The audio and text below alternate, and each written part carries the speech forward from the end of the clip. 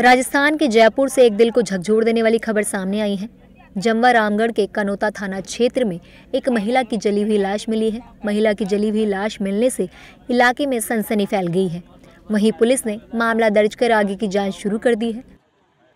दरअसल, जमवा रामगढ़ के कनोता थाना क्षेत्र के पापड़ रोड पर एक महिला की जली हुई लाश सड़क के किनारे पड़ी मिली। वहीं महिला की लाश की जानकारी मिलते ही आसपास के ग्रामीणों की भारी भीड़ लग गई, जिसके बाद मामले की जानकारी मिलते ही कनौता थाना पुलिस मौके पर पहुँची और घटना स्थल का मुआयना कर आगे की जाँच में जुट गई है।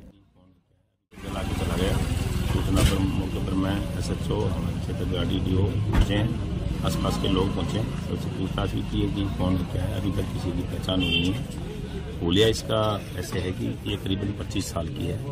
और बाई तरफ़ गाल पर इसके तिल जो अपन बोलते हैं, या सुन टाइप बोलते हैं, इसका निशान है।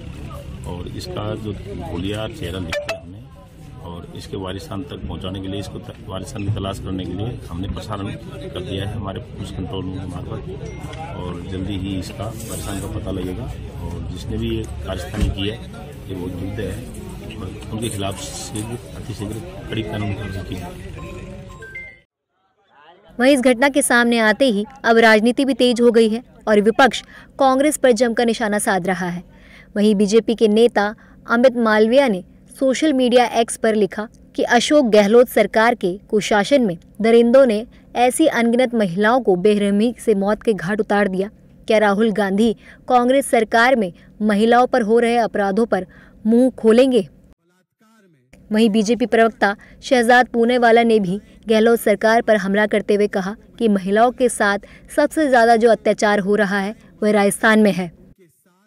बलात्कार में, महिला शोषण में, चाहे वो महिलाएँ आदिवासी समाज की हो, चाहे वो महिलाएँ दलित समाज की हो, चाहे वो महिलाएँ माइनर हो, उनके साथ सबसे ज़्यादा उत्पीड़न की घटनाएँ अगर किसी भी प्रदेश में घटित हुई है और जिस प्रदेश में सबसे ज़्यादा ऐसी घटनाएँ होने के बाद कोई कार्रवाई नहीं होती है, वो राजस्थान है।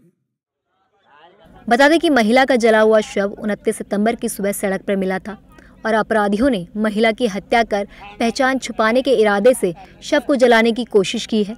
वहीं आग की लपटों से बबूल के पेड़ की टहनियाँ भी जली हुई मिली हैं।